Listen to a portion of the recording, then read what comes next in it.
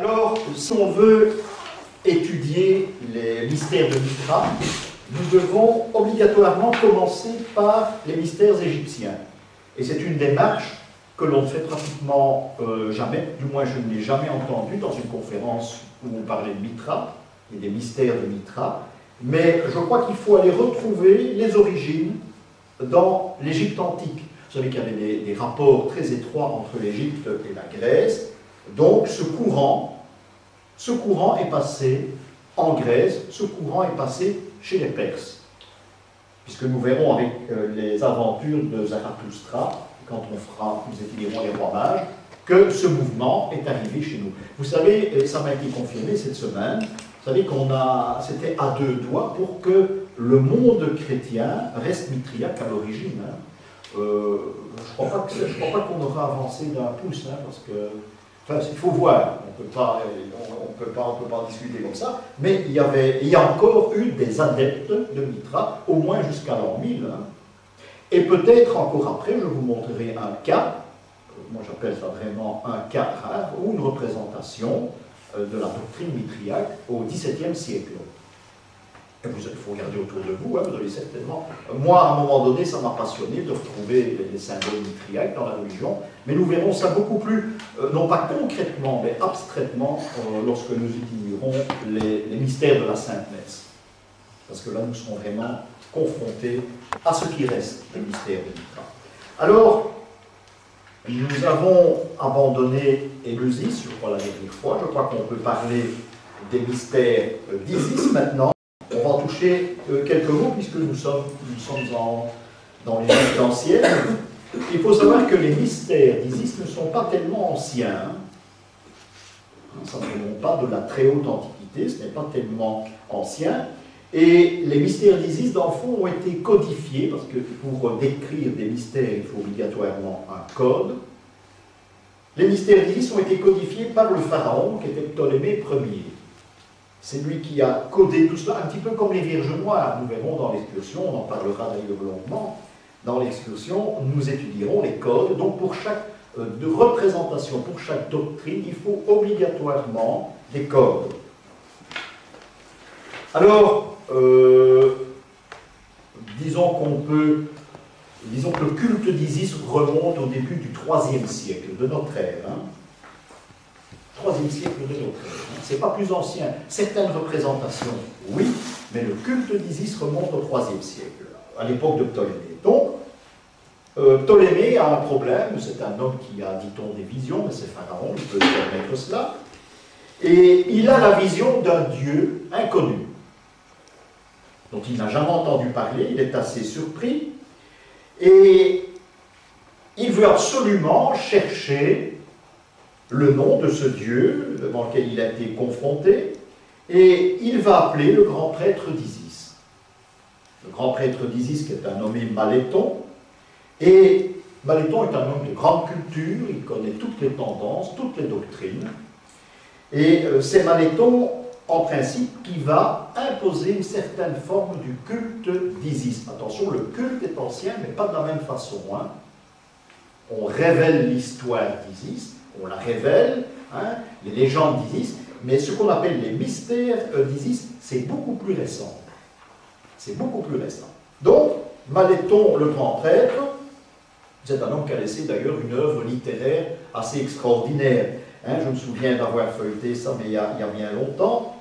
Euh, on n'en connaît plus que les titres. Il y a juste un livre qui a été sauvé parce que toutes les œuvres ont été, ont été détruites elles hein, ont été malheureusement euh, surprises par les différents incendies, notamment Alexandrie. Donc on n'a pratiquement rien de Maléton, au moins les titres. Et on peut prétendre que si on possédait encore ces livres, eh on aurait des notions assez rares sur l'histoire de l'Antiquité, que l'on ne connaît plus, que l'on ne peut plus aborder parce qu'il n'y a plus de traces. Donc c'est en voyant les titres, et je vous assure qu'il y a une nomenclature importante, je crois que ça a été édité chez, à la Pléiade, quand on parle de différentes tendances. Dans le chapitre Égypte, on parle de Manéthon, mais son œuvre n'existe plus. Ça pourrait même, à la limite, mais je n'ai pas eu l'occasion de vérifier, nous donner toute une autre idée sur l'histoire de l'Égypte. Voilà, je m'en tiens là parce que c'est ce qu'on m'a enseigné. Donc, Pharaon va s'adresser à Manéthon Et on va lui demander de faire un travail. Maléton ne peut pas faire le travail lui-même, il va s'entourer hein, d'un nommé euh, Timothée, qui est également un savant, hein, qui est d'origine grecque, mais qui travaille en Égypte. Timothée qui veut dire celui qui craint Dieu. Ça, c'est le côté littéral des choses. Et à deux, eh bien, ils ont décidé d'écrire un ouvrage définitif, et c'est eux, Timothée et Maléton, qui vont rédiger euh, ce qu'on appelle les codes, tous les, euh, tous les rites isiaques. Donc, tous les rites d'Isis vont être enfin codifiés dans un livre. C'est pour ça que je vous dis que cette époque, c'est la grande époque d'Isis, hein, mais ça ne remonte pas euh, si longtemps dans l'Antiquité, puisque nous sommes carrément en dehors de l'Antiquité, on est presque au Moyen Âge ici. Hein. On est à, on est au siècle du Moyen Âge. Donc, les rites isiaques vont être décrits. Hein. Euh, c'est une chance euh, que l'on possède encore les rites isiaques, parce que là, on est pratiquement certain de tout ce qui se passait. Tandis qu'Éleusis, on sait tout de même peu de choses. Et Mitra, on sait peu de choses aussi. Quoique là, Mitra a été codifié. Mais là, nous, aurons l'occasion d'en parler tout à l'heure. Donc, euh, une initiation à Isis va être mise sur pied. Il y aura deux sites sacrés qui vont être décidés par Maléton. C'est d'abord Alexandrie et Memphis. Ce sont deux sites qui ont été choisis on aurait une tendance à travailler à Alexandrie. Vous savez qu'il y a une bibliothèque qui a été incendiée par deux reprises.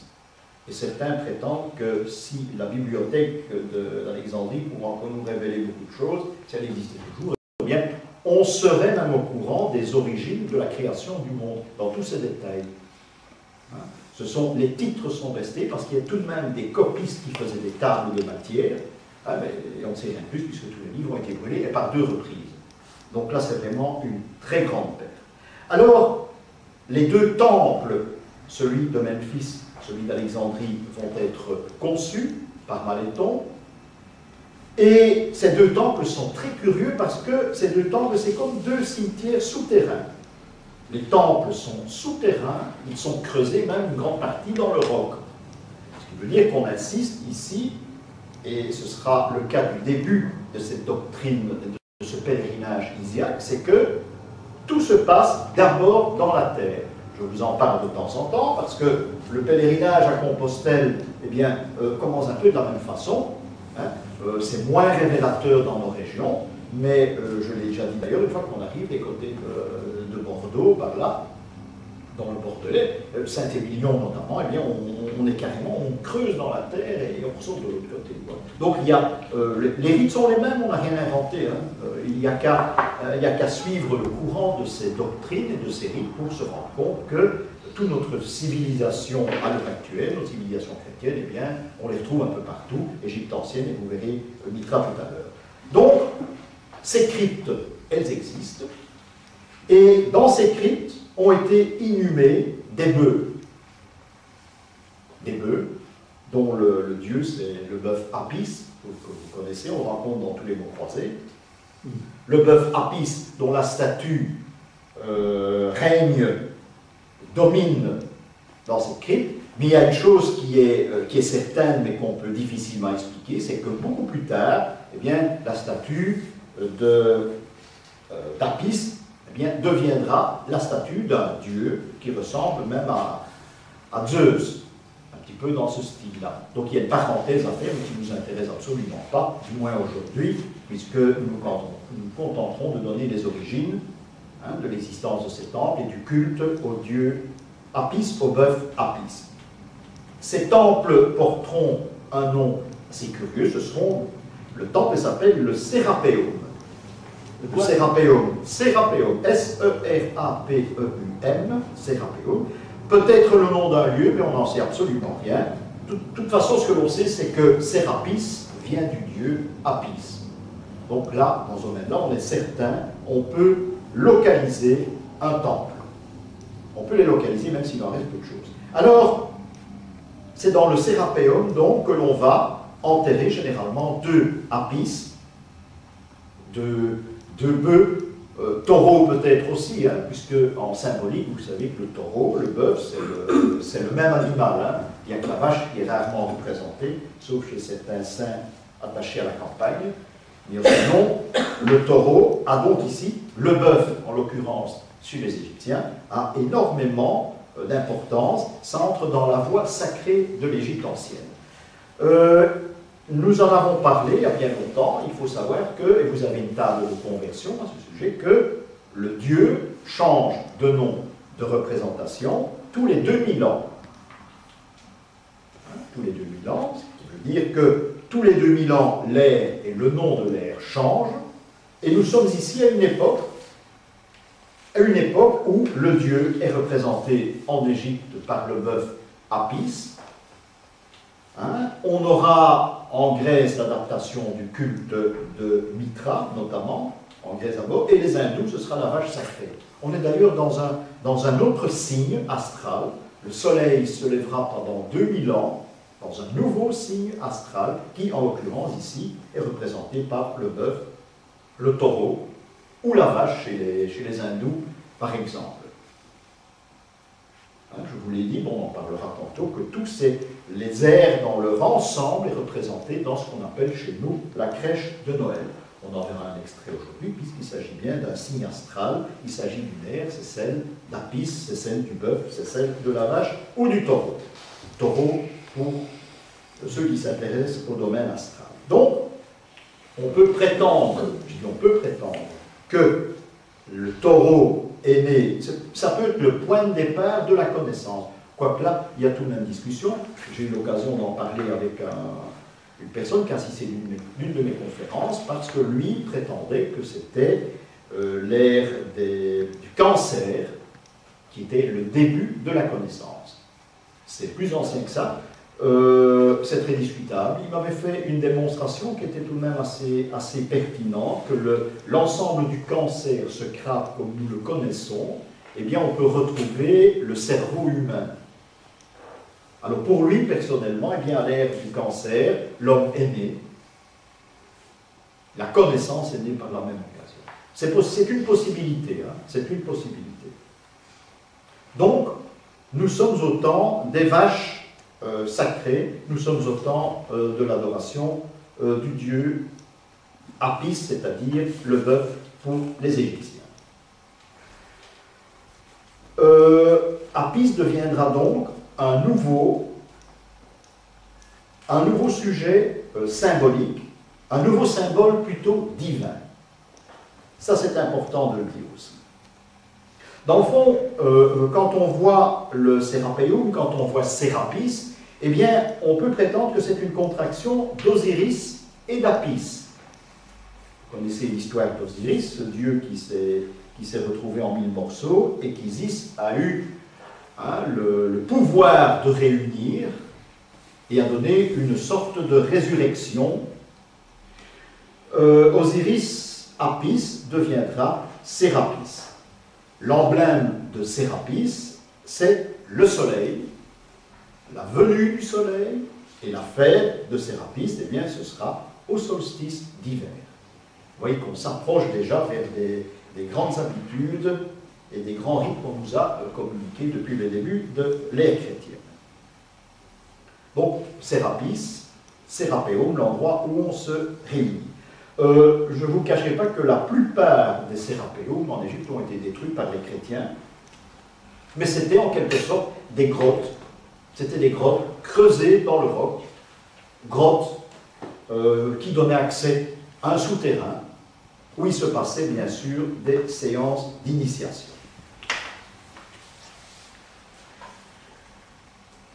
Euh, l'histoire d'Osiris, je vous l'ai cité. Isis veut euh, ressusciter son frère, elle va lui donner un baiser, ce baiser va lui redonner la vie, et elle va retrouver donc les, morceaux de son corps un petit peu partout, sur les bords du Nil. Et ces mystères donc seront également, euh, seront également commémorés à Memphis et Alexandrie. Memphis et Alexandrie, dans les rites isiaques, ce sont deux centres, c'est vraiment les centres très importants, les centres nerveux. Il y a des cultes ailleurs, mais Memphis et Alexandrie ont été décidés une fois pour toutes comme les centres névralgiques où l'on commémore, où l'on adore le dieu Apis. À Memphis, eh bien, on a trouvé, à la fin du 19e siècle, on a trouvé l'allée qui menait à cette grotte, au temple d'Apis, et je crois que vous la connaissez, c'est une allée assez extraordinaire que je n'ai pas vue, puisque je n'ai jamais vu depuis en Égypte, mais je crois qu'il y a à peu près 600 sphinx, vous connaissez cette grande allée. C'est l'allée qui menait en principe vers le temple Apis, vers le Sérapéum. C'est tout ce qu'il en reste du moins à dire euh, ce qu'en disent les archéologues. C'était découvert en 1880 Donc toute la science de l'Antiquité, hein, au point de vue philosophique surtout, a été euh, réunie dans des livres, dans une bibliothèque exceptionnelle qui se trouvait à Alexandrie. Et à Memphis aussi, hein, bien sûr, on parle rarement de cette bibliothèque-là. Donc, euh, dans cette bibliothèque, il y avait des livres dans lesquels ont été recopiés tout ce qu'on a pu trouver. Dans le fond, tout ce qui existait sur l'ésotérisme se trouvait dans cette bibliothèque à Alexandrie. Euh, la gnose, la connaissance, l'histoire des dieux, tous les détails. C'est la bibliothèque la plus riche qui existait au monde à cette époque-là, mais on regrette encore à l'heure actuelle qu'elle n'existe plus. Tout a été brûlé et par euh, deux reprises. Ces livres ne se trouvaient pas dans le style bibliothèque euh, actuel. Hein, mais c'était dans ces souterrains. Tous ces livres étaient consignés dans des souterrains. Et c'est là qu'on pouvait y avoir accès par n'importe qui, parce que les bibliothèques, il y a peu de temps tout de même qu'on y a accès. Je crois que c'était un peu après la Révolution française, c'était réservé uniquement aux savants. Eux pouvaient compulser euh, ces livres. Donc tout ça se trouvait dans des souterrains et qui étaient gardés par des prêtres qu'on appelle les hiéropantes. Les hiéropantes, mais c'était des prêtres, je vais vous donner l'orthographe, hein, H-I-E-R-O-P-H-A-N-T-E, e, les hiéropantes. Ce sont dans le fond des prêtres qui étaient chargés de vous expliquer les rites, les rites d'initiation, les cérémonies d'initiation, et aussi les mystères. Donc c'est eux, en fond, qui détenaient toute la science des doctrines. Hiéropampe, c'est un titre qui se transmettait dans la famille, et on les appelait la famille des hiéropampes, mais plus, à un moment donné, il ne devait plus en avoir beaucoup. Donc la famille a déjà énormément d'importance chez les Égyptiens. Parlons pas de la famille, partons surtout de la généalogie. Hein, comme ça se trouvait dans la famille, c'était une, occupation familiale Hein, donc ça se transmet, c'était le plus aîné, l'aîné, l'aîné de la famille, qui devenait à son tour hiéromante, et c'est son père qui l'initiait. Donc il y a déjà là une généalogie à faire qui devrait être assez facile si on connaît tous ces noms, les noms de ces grands prêtres. À l'époque ça pouvait se faire, maintenant mais on peut toujours chercher. Donc, eux, ils peuvent transmettre, ils ont les clés du savoir, tous ces prêtres ont accès à la grande bibliothèque, soit à Alexandrie, soit à Memphis. Donc, on consulte ces livres. Savez, tous les littérateurs grecs se trouvaient là. Hein. Toutes les œuvres des écrivains grecs se trouvaient là également, consignées. Ça devait être quand même quelque chose. La fête du dieu de notre dieu en question, de Sérapis, se déroulait au solstice d'hiver. Et ce n'est pas un hasard si plus tard, eh bien, la fête de Noël, on l'appellera Noël, et ça se célébrera également au solstice d'hiver.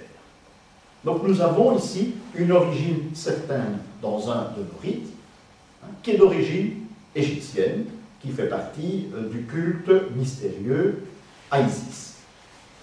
Isis, Sérapis par la suite. Ça va?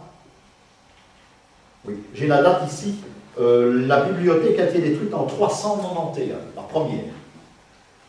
La première, ce sont les chrétiens d'Alexandrie, dans le fond, qui ont, qui ont mis feu à la bibliothèque, parce que vous savez, gnostiques et chrétiens, ça s'entendait pas très bien à cette époque-là. C'est eux qui ont. C'était des fanatiques, hein, une, genre de secte de fanatiques qui ont mis feu à cette grande bibliothèque. Donc, euh, les chrétiens sont passés à l'assaut du Sérapéum aussi, ils ont tout détruit, ils ont tout brûlé. L'Église, par la suite, va regretter euh, son acte, et c'est eux d'ailleurs qui vont essayer de reconstituer cette fameuse bibliothèque. C'est-à-dire que la seconde bibliothèque d'Alexandrie a été créée par les chrétiens. Et malheureusement, il y a eu de nouveau l'incendie, hein, mais cette fois-ci qui a été provoqué par les musulmans.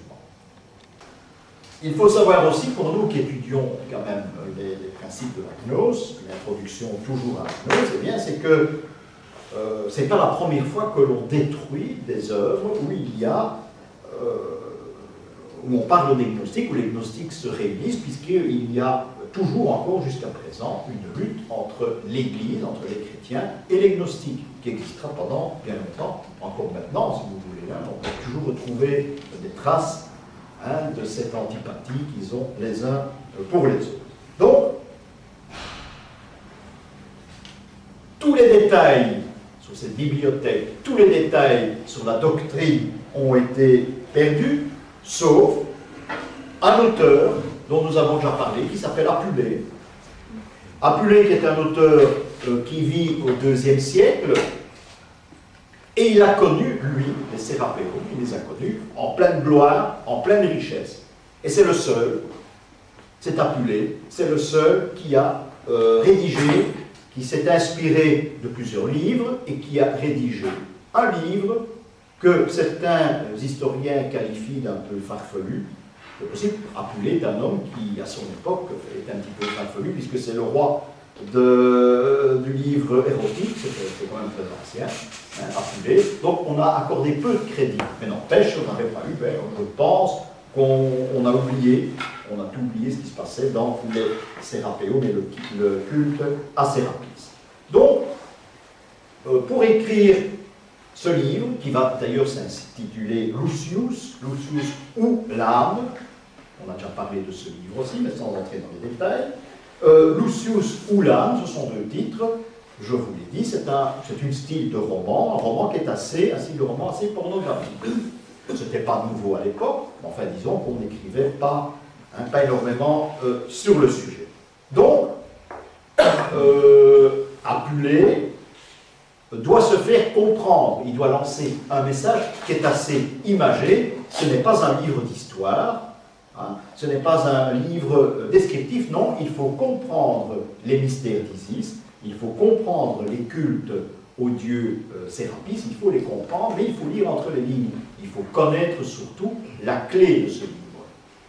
Je pense, j'en ai lu, je pense, une, une seule page, hein, euh, le style n'intéresse plus du tout, à l'heure actuelle, on comprend c'est une sorte de charabia. De temps en temps, on trouve des, situations qu'on connaît. Mais à travers ce livre, il faut connaître, on arrive à connaître et à apprendre les rites d'Isis, la doctrine d'Isis. Et ça, c'est tout de même important. Cette façon de travailler existera encore à la Renaissance. Hein. Hein, nous verrons beaucoup plus tard des exemples des auteurs qui écrivent en en cryptant certains détails, mais quand on a l'habitude de lire l'auteur et qu'on voit et qu'on est au courant d'une clé qui fonctionne, eh bien on peut lire le livre et comprendre. Hein, cette clé peut s'imaginer de toutes les façons. Avec des mots, le nombre de lettres dans certains mots, hein, un, mot évolutif, chiffré, automatiquement, si on n'a pas le chiffre qui évolue, il faut supprimer ces mots et on a une autre phrase. Il y a des tas de livres qui ont été écrits de cette façon-là, dont Rabelais par exemple. Rabelais est un auteur qui est très intéressant dans ce style. Je parle uniquement de ses œuvres. Le personnage peut éventuellement être discutable, mais ses œuvres, c'est passionnant. J'ai suivi tout un cycle, avec Paul de Saint-Hilaire d'ailleurs, il y a bien longtemps, uniquement 10 cours sur Rabelais. Bon, disons qu'au dixième, on commence à voir un peu moins clair, parce que tout s'embrouille un petit peu, mais c'est l'étude de la cryptographie par la littérature. Dans le fond, la symbolique très religieuse, la symbolique chrétienne du livre, euh, des témoignages qui ont été gravés dans la pierre des cathédrales, tous ces mystères que l'on essaye de retrouver dans les cathédrales, eh bien, à partir de l'époque de Rabelais, eh bien, on les retrouvera dans les livres. Donc il faut rester secret dans les livres. Il y a donc un code, une clé pour pouvoir lire tout cela.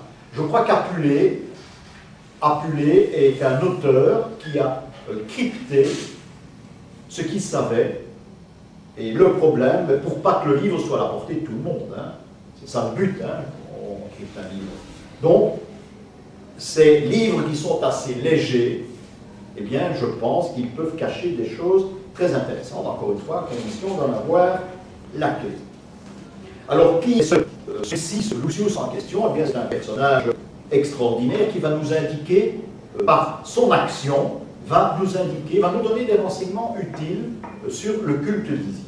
Alors, euh, Lucius veut jouer à l'apprenti sorcier.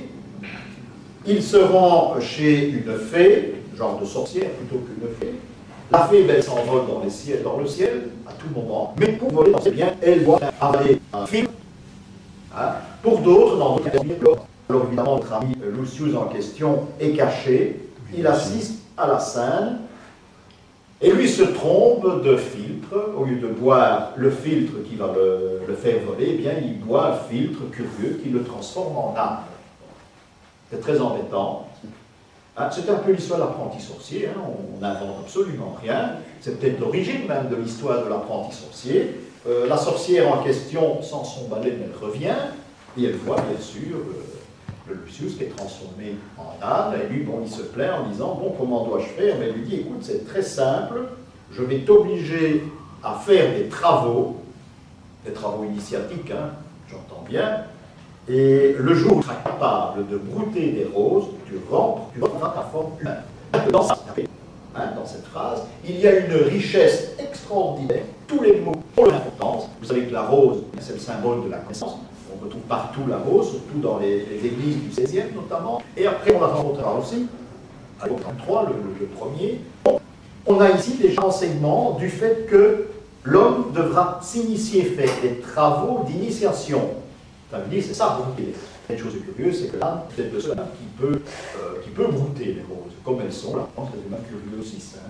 c'est pour ça qu'il a été choisi. Là, je lance un petit peu. Donc, la symbolique de l'âne, l'âne qui est le combat, je vous déjà dit, l'âne qui est un animal extraordinaire dans l'os et dans la symbolique romane aussi.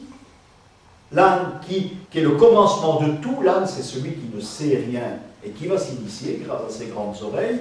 Et au plus les oreilles sont grandes de l'âne, au plus c'est des tableaux, au plus on insiste sur l'animal qui est capable d'assimiler, qui est capable de s'initier. À l'entrée de chaque cathédrale, il y avait un âne. C'est le cas pour Chartres, nous l'avons vu, et récemment à Saint-Omer également. Il y a l'âne qui vous accueille à l'entrée. Hein. Ici, ça veut dire ici, il faut venir, il faut venir pour s'initier. Seul celui qui est capable d'apprendre doit ou peut rentrer à cet endroit. Mais sinon, passez vos chemins. Ce qu'il y a ici, le trésor qu'il y a à découvrir, n'est pas intéressant, ne vous concerne pas. Voilà, ça c'est quelques mots sur l'âme d'or, qu'on appellera l'âme d'or appelée. Alors, il y a un exemple qui est typique que l'on peut lire dans ce livre, et c'est notamment un accouplement, un accouplement entre la femme et l'âne. Vous voyez quel genre de, livre on appelait pornographique, le genre de livre qu'a écrit Apulé. Ce temps n'était pas tellement pris au sérieux, seulement le problème c'est qu'on retrouve, et il y en a beaucoup qui vont s'inspirer des, on ne peut pas appeler ça des fables, ou bien, oui, appelons ça des fables, des fables d'Apulée. Puisque, en deuxième partie, nous avons ce table qui s'accouple avec une femme. C'est un aspect symbolique qu'il faut voir, bien sûr, d'un accouplement entre la belle et la bête. Hein, ça, c'est déjà beaucoup plus près de chez nous. On a cet accouplement, donc cette fable qui est d'origine, cette fable qui a été réalisée par ça va nous mener bien loin, vous connaissez toute la littérature qui a été écrite sur la belle et sur la bête, surtout à l'époque de la Renaissance. Donc, l'âme devra rechercher, l'âme va devoir rechercher ses roses les brouter, donc il va devoir faire des travaux d'initiation. Et chaque fois, il y aura douze travaux, chaque fois, eh bien, ce sera l'échec après chaque travail, il ne pourra pas accéder à la connaissance, il ne pourra pas accéder, retrouver ces roses qu'il devra brouter. C'est donc une initiation complète. Donc il y a à chaque fois quelque chose qui va se passer. Et puis finalement, il va trouver les roses. Et où va-t-il les trouver? Bien, c'est dans la barque d'Isis. C'est donc un culte à Isis, un pèlerinage, vous voulez, une initiation d'Isis, il va trouver les roses, et là il va donc avoir, après ses travaux, recevoir la connaissance. Nous retrouvons euh, cette fable dans une représentation qui est antique, et celle d'Eros et de Psyché. C'est exactement la même chose. Hein, Eros, c'est le, le, Cupidon grec, hein, dans la fable d'Eros et de Psyché, on va retrouver exactement la, la même histoire. Et on aura en même temps, euh, on sera initié ici, et peut-être une des premières fois, par le culte d'Isis, on sera initié au secret. Le secret est une chose extraordinaire, une chose extraordinaire, parce que dans de nombreuses chansons de gestes, parce que tout ceci va donner naissance à des chansons de gestes.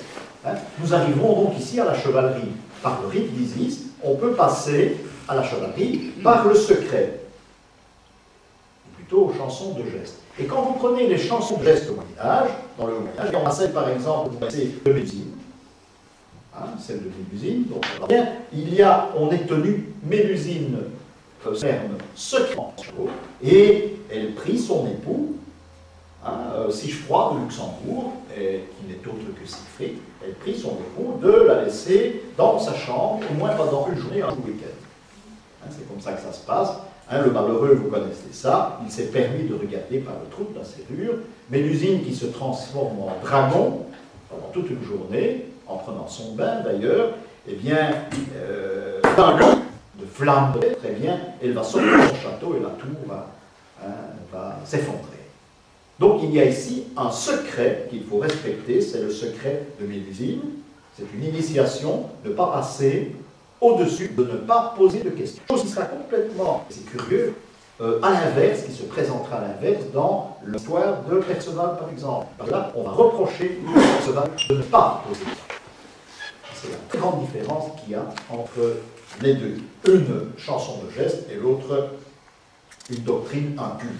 On va retrouver avec Lohengrin également, hein, le chevalier Lohengrin, le chevalier aussi, hein, qui payera son épouse qui va lui donner nombreux enfants, qui descend d'ailleurs toute grande famille du Moyen-Âge.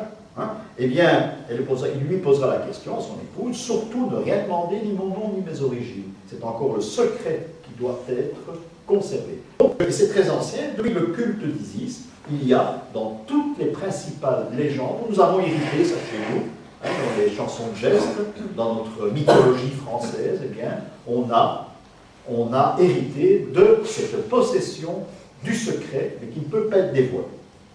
Et parfois, ça remonte bien. Évidemment, avec Loïc Green, elle posera la question, et le chevalier aussi va disparaître sur son signe. Il y a aussi une trace là qu'il faudrait essayer de fouiller, parce que le signe sur lequel se trouve le chevalier, c'est son frère, hein, qui a été transformé par une sorcière, mais le signe s'appelle Elias. C'est d'ailleurs toujours reproché à, Saint-Hilaire, mais c'est un très grand travail.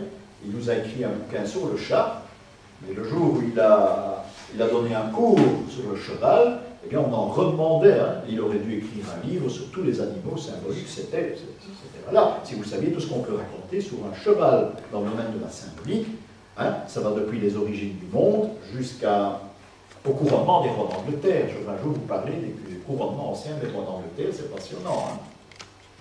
Hein, voilà un animal, voilà un cours qui avait été consacré uniquement au cheval, mais c'était passionnant. Il n'a jamais écrit de livre là-dessus, c'est bien dommage parce que ce livre n'existe pas.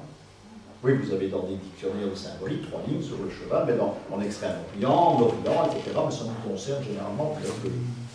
Mais il faut savoir que euh, le rite de couronnement du roi d'Angleterre au XIIIe, XIVe siècle, peut-être peut encore au XVe, tout tourne autour du cheval. C'est très curieux. Et des, choses assez abracadabrantes. On de. Donc le secret, Hein, ce secret, où lorsqu'on pose la question, eh l'enchantement disparaît. Que ce soit dans n'importe quelle, hein, euh, version, sauf dans la chanson Geste de Perceval, où lui ne pose pas de questions, et c'est pour cela que l'enchantement disparaît. Ce qui est même assez différent, c'est carrément à l'opposé. Donc le secret est nécessaire pour l'initiation, et le secret est nécessaire pour arriver à la connaissance. Euh, prenez Perrault, par exemple, à l'époque du XVIIe siècle, à l'époque de Louis XIV, eh bien, Perrault a carrément pris le mythe d'Eros et de Psyché, et il a écrit. Il a écrit, il a transformé tout ça, et il en fera La Belle et la Bête, notamment. La Belle et la Bête, qui n'est autre que cet accouplement de la femme et de la bête et de l'âne chez Apulée. C'est exactement la même histoire. Et de plus, Perrault, il va écrire Peau d'âne aussi. Mais c'est encore, ce sont, ce sont des livres qui sont, je veux bien, du XVIIe siècle, mais on y retrouve la manière de voir les choses hein, que l'on peut nous enseigner avec les, doctrines, les différentes doctrines à l'époque d'Isis. La Fontaine également, La Fontaine, dans le fond, il a écrit et Psyché, il a, il a mis tout cela en vers. Toutes les fables de La Fontaine méritent également d'être analysées. Et le caractère ésotérique de ces différents livres, différents livres de l'époque dont nous parlons pour le moment, eh bien, euh, ces livres ésotériques sont assez extraordinaires et on y trouve un caractère assez particulier. Alors, après cette introduction, parce que je tenais à vous parler tout de même d'Isis, puisque c'est une voie, une voie que l'on suivait également pour trouver la connaissance, pour être initié, il y a une voie, ce sera la dernière, ce sera la troisième grande voie, ce sera la voie mitriaque.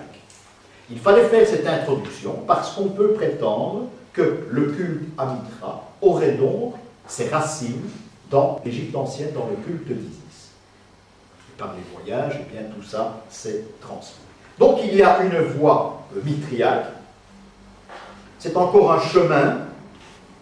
Il faut savoir que la très grande représentation, que vous connaissez, de Mitra, c'est Mitra qui tue un taureau. Mitra tue le taureau, ce qui veut dire que nous sommes ici en relation directe avec les cimetières du bœuf Apis de Sérapis.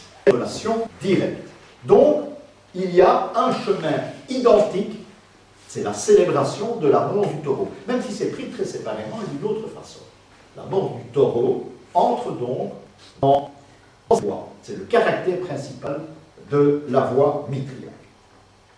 C'est un chemin vers la connaissance, et dans le fond, la mort du taureau nous invite à des temps futurs. Des temps futurs, puisqu'on tue un animal, un animal qui fait partie de la symbolique astrale, le zodiaque. Donc à la fin de l'ère du taureau, on tue la bête, hein, et une nouvelle ère va naître. Rappelez-vous, quand euh, notre ami euh, ami Moïse la descend avec ses tablettes, eh bien, lui va ouvrir une nouvelle ère, c'est-à-dire l'ère du bélier, puisqu'il y aura le fameux, hein, la, scène que les juifs d'ailleurs euh, pratiquent toujours, mais il y en a toujours qui essayent de contrecarrer les choses. Ce sont ceux qui, dans le bas de la vallée, ont créé à leur façon le veau. On remonte toujours dans ces personnes qui veulent absolument condamner la progression, ce sont les juifs, les mauvais, là, qui, ont, qui font des danses, des bacchanales autour du veau d'or, et lui, Moïse, descend, tout est symbolique hein, dans, la Bible, tout, hein, de A à Z. Moïse descend avec ses tablettes, et lui va inaugurer l'ère nouvelle, qui est l'ère du bélier. Et bien ici, nous sommes à l'époque de Mitra. Et ça, ça, se ressemble avec les dates que l'on peut, que l'on C'est une, c'est une ligne, une table de conversion. Mais il y a une chose qui est troublante, c'est que dans le monde, historiquement, le Dieu, la présentation du Dieu est la même. Je vous ai donné des tables, c'est assez surprenant. Euh, il y a un mouvement, il y a un changement tous les 2000 ans, mais il y a un mouvement qui fait que ce Dieu est en rapport avec les astres. il y a cette transformation, il y a du il y a la voix qui et il y a les vaches chrétiennes, il y en a encore d'autres. Hein. Il y en a encore d'autres. Et historiquement parlant, ça tient parce qu'on peut, on peut s'y retrouver dans les dates. Même si elles sont approximatives, on peut s'y retrouver. Donc c'est une bande horizontale concerne, c'est un changement de Dieu. Après, nous aurons l'ère des poissons, hein, et nous sommes concernés, nous ici, catholiques romains, bien, euh, tous les termes, tout ce qui se, se tout est localisé autour du poisson, que ce soit euh, le pape, que ce soit le baptême, que ce soit l'anneau du pêcheur, etc. Tout se localise là. Maintenant, nous entrons, nous y sommes déjà un petit peu, je pense, dans du verso, qui en principe est la dernière. Dans le fond, l'Église catholique romaine annonce, depuis l'an 1000 au moins, annonce la venue du verso. Il n'y a qu'à voir les cathédrales, il n'y a qu'à voir le rite du baptême qui a changé. Nous reparlerons baptême ici, mais un baptême assez particulier qui est celui qui fait partie des mystères de Mitra. Donc, les mystères de Mitra, comme ceux d'Éleusis, comme ceux de Sérapis, pour Isis, eh bien, vont s'organiser, vont, euh, s'organiser, vont se passer dans une grotte. Donc toujours dans l'obscurité, dans un souterrain, dans des cryptes. Tout commence donc dans le noir. La couleur noire, c'est la couleur du profane. C'est celui qui ne connaît rien. C'est la terre. C'est la raison pour laquelle eh bien, celui qui s'initie doit d'abord faire la connaissance. Hein, de... C'est comme en alchimie, le problème est exactement le même. Tout se retrouve de la même façon. Euh, je dis de suite, Mitra Dieu la lumière.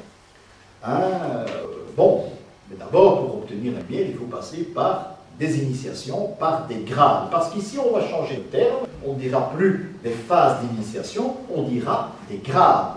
Parce que Mitra est considéré comme un ordre militaire qui va donner naissance à votre chevalerie. Par la suite, puisqu'on va retrouver tous les ingrédients de Mitra dans la création des premiers ordres de chevalerie chez vous. Donc, on retrouvera encore une relation. Donc, le point de départ de Mitra, mais ce serait la Perse. Mais pas l'Iran, hein, comme nous considérons l'Iran à l'heure actuelle. Euh, c'est pas du tout ça. Hein. Hein, c'est pas l'Iran, mais c'est là en principe que ça devait se situer. Euh, toutes les populations gnostiques de l'Iran ont été, euh, disons, massacrées par les musulmans de l'Iran, que l'on voit épouser ici, une idée que l'on connaît très peu, c'est l'idée avant l'occupation des musulmans. Hein, euh, un exemple, on a toujours Saint-Augustin, par exemple, c'est un exemple que je bien souvent, Saint-Augustin qui est originaire de Tunisie, je pense, à ce côté mais on le représente toujours en évêque, avec sa crosse, comme docteur de l'Église, mais à l'époque, quand il n'était pas, quand il était jeune, c'est l'homme qui, partait en jupette dans les rues, quoi. Hein. C'est ça Saint-Augustin.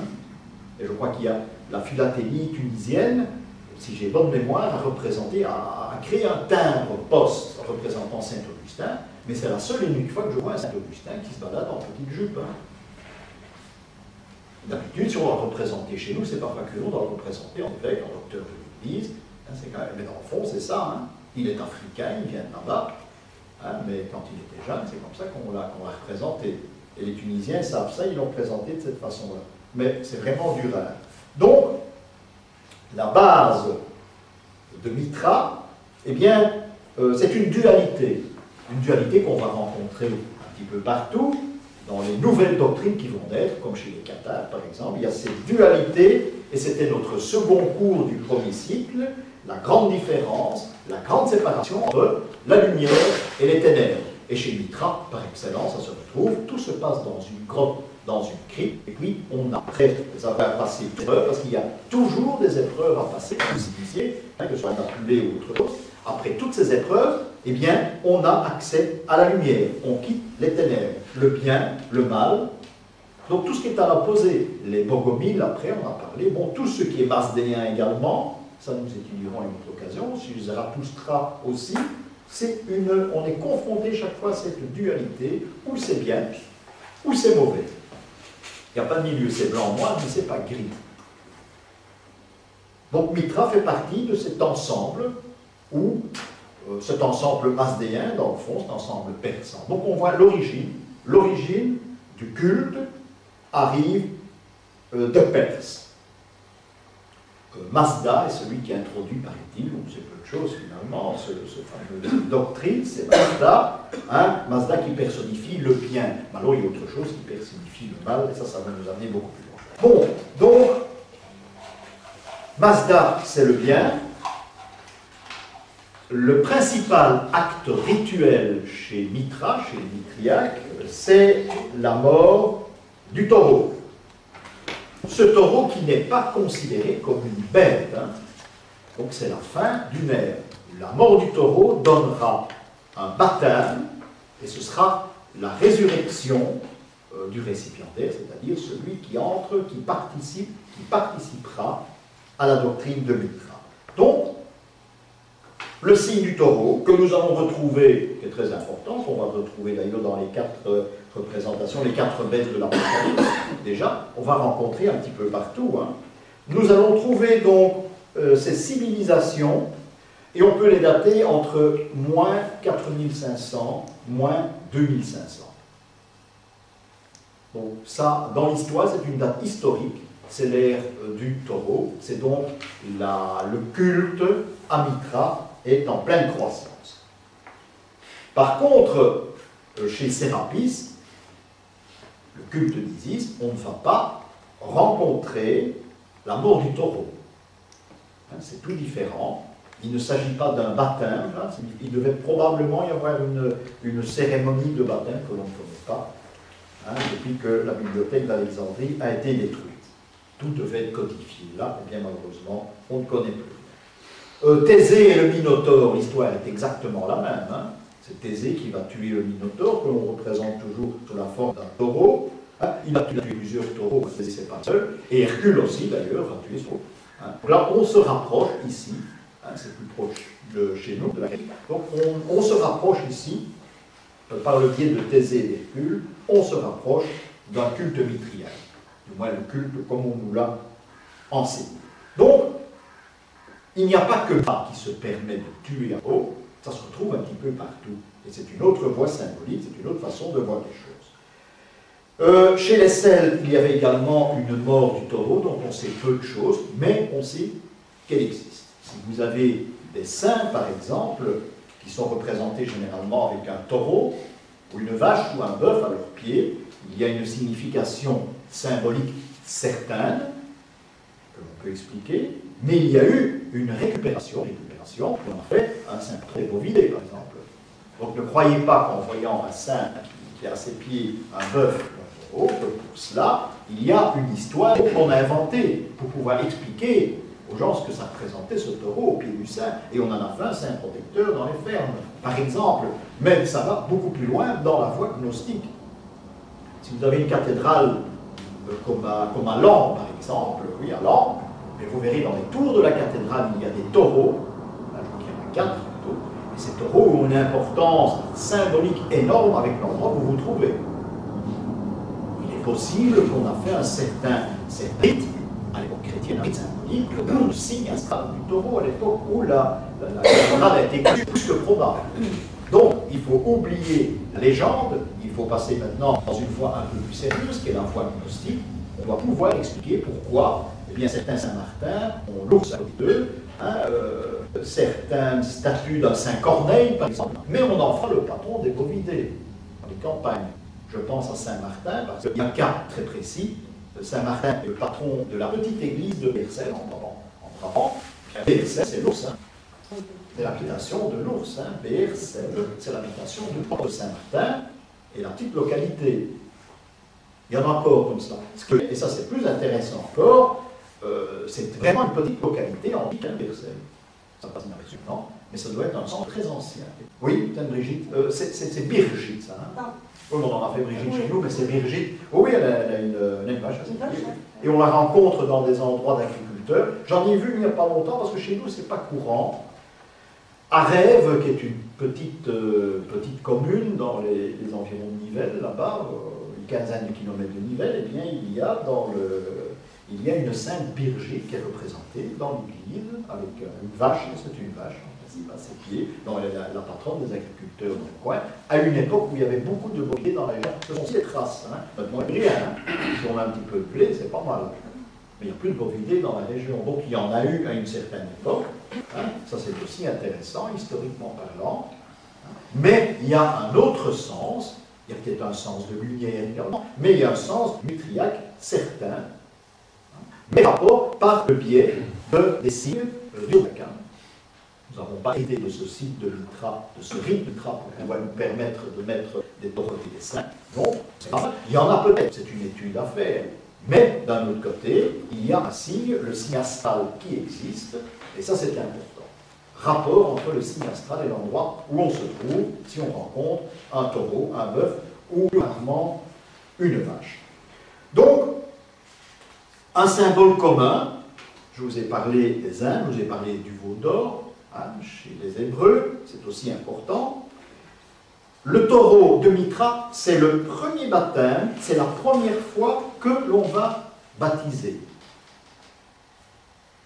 Donc c'est un, rite, un rite important. Il y avait bien un baptême chez les Esséniens, dont on sait peu de choses finalement, mais le baptême que le Christ aurait reçu, c'est un baptême euh, essénien, dit-on. C'est un peu ça, on a pensé que le Christ faisait partie de, la secte des Esséniens, c'est très possible. Hein, Jean-Baptiste aussi. Euh, c'est une forme de baptême, ce baptême par immersion, qui devient le baptême hein, par la suite du rite du verso. C'est le baptême de l'époque du signe des poissons chez les chrétiens, mais qui sera transformé à l'an 1000, une fois où l'Église travaillera dans l'avenir. L'Église catholique romaine est une des seules religions qui se base d'ailleurs sur ce qui va se réaliser dans l'avenir. Hein, ça va se dérouler pendant au moins 1000 ans. Donc, avant, on baptise avec le sang du taureau, mais on baptise également avec le sang de l'agneau. Mais en ce qui nous concerne ici, ce sera le baptême de Mitra, le baptême par le sang. Puisqu'il faut l'appeler comme ça, c'est un baptême par le sang. Ça fait partie des secrets de l'initiation à Mitra. Parlons des rois mages, nous en parlerons longuement d'ailleurs prochainement. Ces rois mages, ce sont des prêtres de Mitra. On connaît l'origine, on sait d'où ils viennent, ce sont des prêtres de Mitra qui recherchent la lumière, c'est-à-dire le soleil. Ça fait partie des différents rites hein, d'initiation à Mitra. C'est la recherche du soleil. Le soleil est l'élément le plus important. Souvent dans les, doctrines dualistes, il y a également cette présence, il y a cette sortie des ténèbres pour accéder à la lumière. Hein, c'est valable un petit peu dans toutes ces doctrines. Donc, les mages sont des prêtres de Mitra, qui vont aller adorer hein, le Dieu, devant la grotte Bethléem. Donc il se fait, il se fait que une représentation des rois mages, sont trois généralement, il fait beaucoup de ça, ils sont trois généralement parce qu'il faut conserver la. Dans la crèche de Noël, on va l'appeler comme ça, la présence des rois mages, c'est une image mitriaque. C'est la présence du soleil. La présence du Soleil est l'élément capital dans le signe du zodiaque, puisqu'il se lève tous les 2000 ans, le Soleil se lève tous les 2000 ans dans un nouveau signe, c'est une roue, automatiquement, le, culte mitriaque tourne autour des astres et du Soleil. J'ai une, représentation de Mitra que vous montrerez tout à l'heure. Malheureusement, on ne peut pas décrypter l'ensemble de cette roue. Ce n'est pas une roue ici, mais j'en ai déjà vu, je ne sais plus très bien où, mais je n'ai pas de photo. Il doit y avoir, je crois que c'est à Igel, au Luxembourg. Il y a une représentation de Mitra, il y a une roue avec tous les signes, c'est à Igel. Il y a tous les signes du, du zodiaque qui sont représentés. Donc une importance capitale, Mitra, zodiaque, soleil, et dualisme. Je crois que c'est ce qu'il faut dans un premier temps, c'est ce qu'il faut retenir. Donc nous sommes confrontés à une récupération de l'Église l'Église va récupérer d'abord euh, cette doctrine mitriaque, d'abord par le baptême, qui ne sera qu'on fera plus par le sang, bien sûr. Hein. Les prêtres de Mitra, ce sont des gens euh, qui euh, se placent dans les rois mages, qui viennent adorer le Dieu nouveau dans une grotte. Pensez que l'image mitriaque, eh bien, on abat le taureau dans une grotte également. Mitra, le Dieu Mitra, est né dans une grotte Hein, une étable, par exemple, mais une grotte très certainement, dans le sombre, et il y a obligatoirement, à côté de l'entrée de la grotte, la présence d'un résineux. Ça, c'est dans la doctrine mitriaque. Pensez à notre sapin Noël, on n'a rien inventé du tout, puisque je vous ai dit que c'est une récupération. Ça peut être parfois un cyprès aussi. Mitra donne naissance avec les symboles de la chrétienté, une chose également, Mitra est né au solstice d'hiver, comme le Christ d'ailleurs, 25 décembre, fête de Noël. Voilà déjà des éléments qui vont nous mettre en appétit pour essayer de découvrir les autres éléments qui ont été repris par le catholicisme. Mitra, ceux qui venaient adorer Mitra ont été guidés par une étoile, étoile qui mène au soleil. Je ne peux pas vous donner plus d'ingrédients comme cela qui qui fait le chaînon entre les mitriaques et les chrétiens. Donc, des prêtres qui viennent rendre hommage à Mitra, qui vient de naître, et ils espèrent en lui une nouvelle découverte ou une découverte du soleil, du soleil naissant. Donc, ils ont été guidés par une étoile. Donc, le candidat, le mitriaque qui veut euh, passer toutes les épreuves, qui veut s'initier au rite de Mitra, eh bien, il aura une série d'épreuves, mais curieusement, ce ne sont plus des recherches dans des livres, ce ne sont pas, ce sont des épreuves qui sont militaires on peut les appeler comme ça, puisque ça deviendra un ordre militaire par la suite, qui va donner naissance à la chevalerie. Donc, ce sont des épreuves qui mettront, on peut dire que ces épreuves vont mettre en avant leur courage. Voilà, leur courage. Chose que l'on ne voit pas dans d'autres initiations, où il faut se plier, il faut chercher, il faut méditer. C'est vraiment la grande différence que l'on trouve avec les autres, les autres initiations. Donc, euh, Mitra est un système et pour la première fois dans une initiation, un système qui va se nourrir de notions militaires. C'est la raison pour laquelle, mais ça c'est par la suite, les légions, les légions romaines d'ailleurs, qui ont fait tour par la fête, eh ils seront initiés à Mitra, hein, et ils seront, ils deviendront tous mitriaques. Et c'est comme ça, en arrivant chez nous, qu'on a eu, beaucoup plus, tôt, on a eu la connaissance déjà, hein, par Rome, par la Grèce, de ce culte Constantin était toujours mitriaque. Constantin, l'empereur, n'a jamais été chrétien. C'est l'Église qui a rédigé ça, Constantin. Pourquoi? Parce qu'il a donné une autorisation de culte, ce qui était déjà pas mal, mais n'empêche, lui a toujours, hein, il a toujours été un adepte de Mitra. L'Église qui était en recherche, rechercher des saints, on a envie de faire un Saint Constantin, que l'on rencontre pas souvent finalement, mais on a fait un Saint Constantin par la suite. C'est celui qui a délivré en quelque sorte en fait, il a autorisé le culte. Hein, c'est sous son règne qu'on aurait retrouvé les, saintes reliques à Jérusalem. Hein, ça s'est passé aussi, c'est la raison pour laquelle il y a eu Sainte Hélène, sa mère, et il y a eu Saint Constantin, mais on le voit beaucoup plus rarement.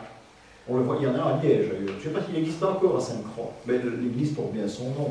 Il y a un très beau Constantin en principe, je ne sais pas s'il existe encore. Constantin est mitriaque, il n'a jamais été chrétien. Ça, c'est une, historiquement parlant, euh, ça tient. Les notions militaires des mitriaques vont donner naissance à la fois aux chansons de gestes par les rites, surtout ce rite du secret et de la transformation. Hein? et euh, ces chansons de, chansons de gestes vont donner naissance à la chevalerie.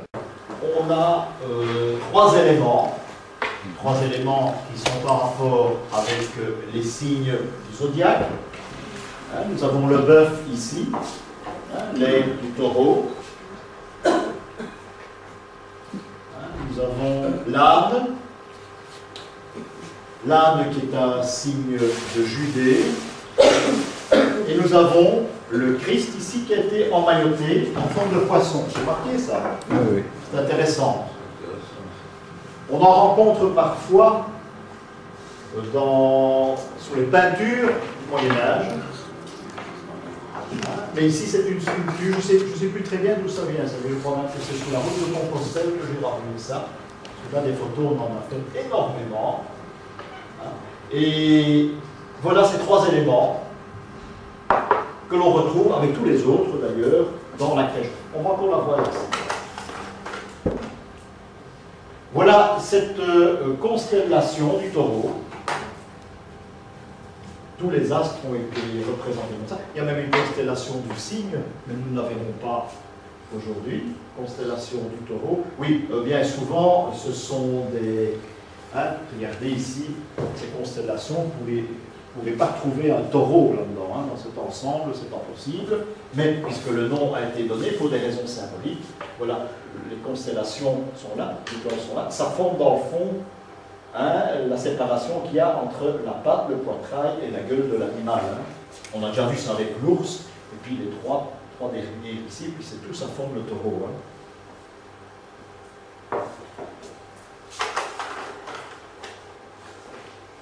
Voilà ici le début de l'initiation à Mitra, c'est-à-dire que l'on va abattre le taureau.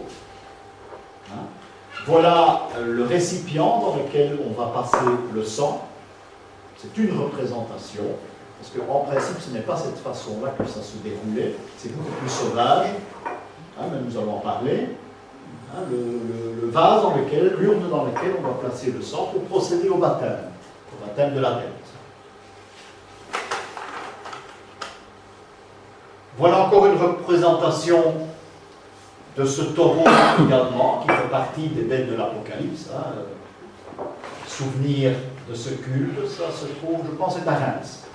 C'est dans la cathédrale, à l'entrée de la cathédrale de Reims.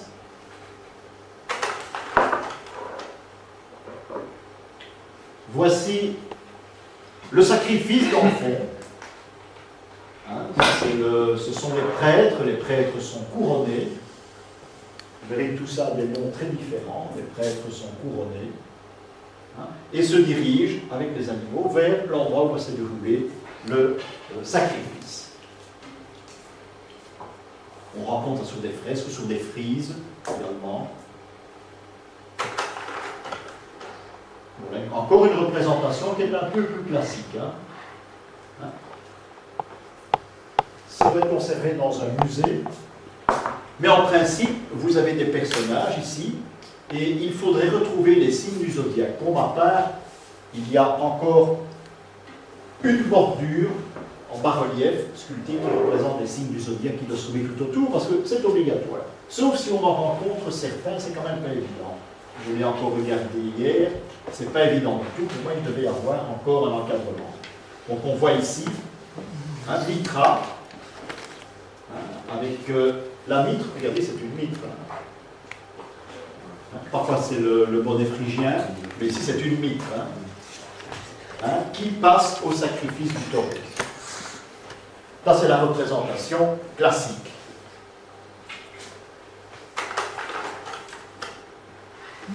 Oui.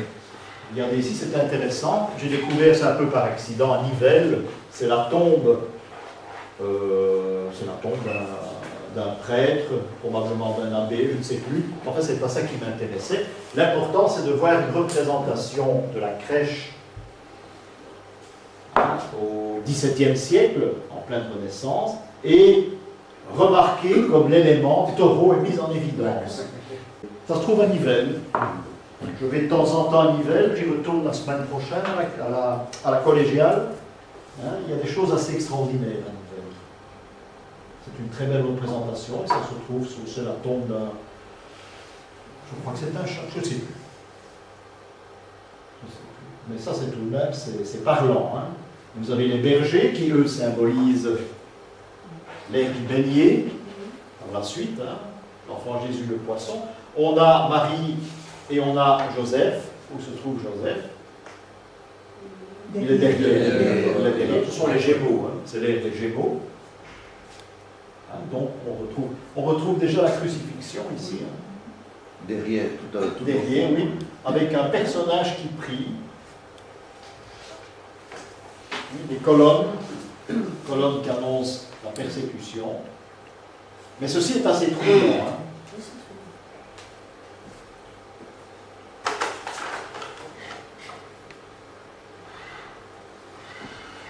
Alors voilà ce qui va donner dans le, culte chrétien par la suite. Eh bien, il y aura euh, cette adoration du soleil, le soleil de Mitra, ici au-dessus, le soleil de Mitra qui envoie ses rayons sur l'autel où le prêtre dit l'office. Tout l'office chrétien de cette époque, qui a changé il y a une cinquantaine d'années, eh bien, tourne autour du soleil. C'est dans le fond encore un héritage que nous avons fait euh, du dieu Mitra, de la doctrine mitriaque.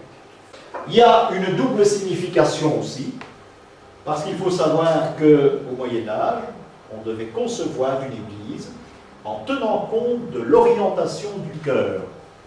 Je vous donner un exemple. Nous avons une église euh, Saint-Boniface, par exemple, ou même l'église Saint-Nicolas, c'est mieux, tout le monde connaît le 6 décembre il faut obligatoirement qu'à la première messe du matin, le soleil puisse, comme on le voit ici, puisse partager la pierre d'autel en deux parties. Donc le premier rayon de soleil, à la première messe du matin, doit pouvoir partager l'autel en deux parties. C'est l'explication qu'on a là. C'est de plus en plus rare parce que maintenant, premièrement, on a caché euh, le triplet des fenêtres chœur, ça n'existe pratiquement plus que dans certaines petites églises de campagne. Hein, ça d'abord, puis on a mis des constructions tout autour, plus grandes que l'église, il n'y a plus de soleil qui peut arriver, mais à l'époque, c'était obligatoire. Ce qui veut dire que lors de la conception d'une église Saint-Nicolas, par exemple, il fallait d'abord concevoir la présence de l'autel, mais l'autel placé dans la bonne direction, pour recevoir le soleil à la Saint-Nicolas. Si ce n'est pas vrai, si ça ne se fait pas, si l'expérience que se fait, c'est qu'elle a été consacrée à notre saint entre-temps. C'est le cas de notre église Saint-Nicolas à Bruxelles, je l'ai déjà montré, c'est que le cœur est légèrement dévié. Non pas comme racontent les historiens bruxellois que ça représente, ça rappelle la, la tête du Christ qui penche sur une épaule, c'est tout à fait ridicule. Non, c'est parce qu'on a changé le culte. Pour la consacrer à Saint-Nicolas, il fallait donc remettre les pendules à l'heure. Il fallait que le soleil arrive à la Saint-Nicolas sur, à la première messe sur le clair. Tout ça vient du rite Amitra, euh, cette, présence du soleil, qui est la euh, présence primordiale dans la religion. Le prêtre fait face au soleil obligatoirement. Le but du prêtre, c'est de recevoir le soleil et de le transmettre aux fidèles. C'est ça le but premier de la grande messe, de l'office religieux. C'est une représentation qui se trouve à Cologne. Oui. oui. Et voilà encore une sainte messe comme nous l'étudierons la prochaine fois, puisque nous aurons l'occasion de faire la transition, je rappellerai un petit peu Mitra, nous aurons l'occasion de faire la transition entre le culte mitriaque et l'office l'office actuel. Non, l'office ancien plutôt, actuel, parce que là, on se brouille les pinceaux. Donc nous avons, pour y revenir, nous avons parlé de, rites, différents rites, mais à caractère militaire chez Mitra. Chose à la base, je nous l'avons développé tout à l'heure, c'est le secret. Euh, chaque participant, futur initié, doit tenir le secret absolument. Il ne peut pas révéler l'initiation, les étapes de l'initiation. Hein? Ici, il y en a qui ont parlé, on a pu rédiger, on est à la, on connaît les étapes, même si parfois on doute un petit peu de leur signification, mais on connaît les étapes. Euh, chez Élusis aussi, rappelez-vous, mais là on connaît vraiment très peu de choses. On a essayé de broder un petit peu pour que ça ait un sens. On connaît les grands moments de l'initiation à Élusis, malheureusement, il y a des tas d'éléments qui nous manquent. Vous vous rappelez, il y a des tas de, Hein, il y a des tas de détails euh, qui nous manquent, donc on peut pas. Tandis qu'ici, chez Mitra, eh bien, euh, grâce, grâce aux catholiques romains d'ailleurs, euh, qui ont fait des recherches, et ça se trouve toujours dans les bibliothèques, souvent en bénédictine, eh bien, on a encore des traces de l'initiation mitriaque. Il faut savoir aussi que s'il y a le secret, il y a également, avant d'épouser, avant de commencer le chemin à la connaissance, il faut obligatoirement avoir passé des jours d'abstinence, mais abstinence c'est rapport sexuel, c'est également nourriture. Boisson, nourriture en général, rapport sexuel. Donc c'est une abstinence complète avant de pouvoir commencer, prétendre commencer ce chemin de la connaissance. On peut appeler ça un pèlerinage aussi finalement, hein, même si on marche très peu. Donc, toujours dans ce temps qui précède l'initiation, il y a une sorte euh, d'ablution. On va laver, ou plutôt hein, le récipiendaire, le futur initié va se laver, puis on devra attacher ses mains dans le dos et on va les tendre sur le sol comme s'il était mort. Nous retrouvons également la rite maçonnique, hein, qui, est ancien aussi, qui est du XVIIIe siècle. Euh, nous retrouvons également des traces, ça se retrouvera dans l'alchimie aussi, parce que tout euh, tout ce qui doit renaître doit d'abord pourrir et mourir. Ça, c'est une loi, c'est une loi de base. Donc, le nouvel adepte, il est sur le sol, on lui a lié les mains, il est considéré comme mort. Les autres stades, les autres stations vont suivre. Alors, il y a ce fameux baptême par le sang, baptême par le sang, qui est le premier acte de celui qui est mort et celui qui va renaître, c'est qui va participer à sa résurrection, basant sur des documents qui se trouvaient d'ailleurs chez les pères de l'Église, chez les bénédictins, euh, le candidat doit obligatoirement se tenir debout dans une partie de cette grotte. Vraisemblablement, dans le fond de la grotte, il se tient debout, et au-dessus de lui, eh bien, il y a uniquement, il n'y a pas de décoration, il y a une grille, comme le gris de Saint-Laurent, en plus grand. Hein, cette grille se trouve autour de lui.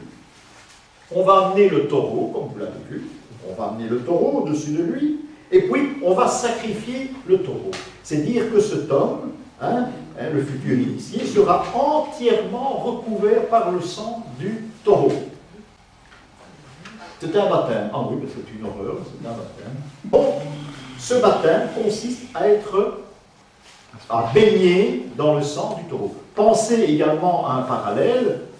Siegfried, il tue le dragon, mais pour qu'il comprenne, pour qu'il soit initié, hein, Siegfried, obligatoirement, doit se baigner dans le sang du dragon, mais lui également le goûter. Hein, il y a une double action il se nourrit du sang, nourrit c'est un grand mot, mais en fait, il se nourrit du sang du dragon, et c'est à ce moment-là qu'il sera initié. Comment est, représentée cette, initiation, cette nouvelle voie, cette résurrection? Eh bien, dans les, écrits scandinaves, eh bien, il est, Siegfried écoute l'oiseau chanter, l'oiseau lui lance des messages. Grâce uniquement parce qu'il a léché le sang du dragon qu'il avait sauvé. Il y a un deuxième sens aussi à l'histoire de Siegfried, c'est que le sang, euh, le sang du dragon, ben, il, en a plein de corps, comme le, futur Mitriac, seulement il y a une feuille, une feuille de chêne probablement, qui lui est collée à, derrière la clavicule, ici, et étant donné qu'il est considéré comme invulnérable, il a tué le dragon, hein, invulnérable, automatiquement, eh bien, une feuille qui n'a pas, une partie du corps qui n'a pas reçu du sang de la bête, eh bien ce sera son point, malheureusement, qui va le tuer d'ailleurs. Hein, le, seul point euh, où il avait une certaine faiblesse, et ses ennemis vont le tuer d'ailleurs à coup de lance à cet endroit-là. Alors ça s'est fait par l'intermédiaire d'une femme qui a révélé à ses ennemis que, parce que ah, Siegfried l'a trompé, la femme a révélé à ses ennemis que là, il est invulnérable, mais là, là il est vulnérable, on peut l'abattre. C'est comme ça qu'on va l'abattre.